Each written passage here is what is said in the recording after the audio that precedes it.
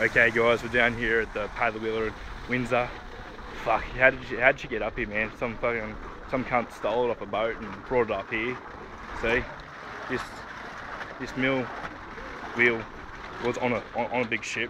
And as you look down here, it's actually my wishing wheel. You can actually steal a bit of money from down the bottom because, yeah.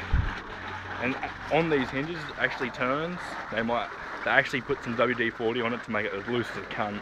So it fucking spins like a fucking gem. So it just spins.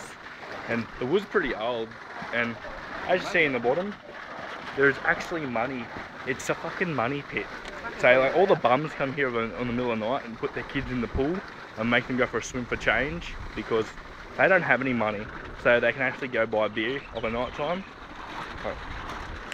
It says the water's not suitable for drinking, but I don't give a fuck. My kids can drink this piss water anytime I want. And it says they're not climbing the structure. I don't see a structure here. I see a, a paddle wheel. It is pretty fucking sick.